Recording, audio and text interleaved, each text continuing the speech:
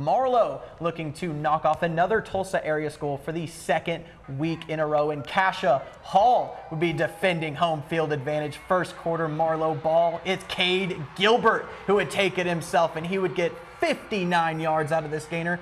Definitely looks like a touchdown, though. Don't know I'm how no that wasn't a expert. I don't know how it is either. That's very confusing. But it's Hudson Morgan who would punch in the two-yard touchdown run, seven to nothing Owls.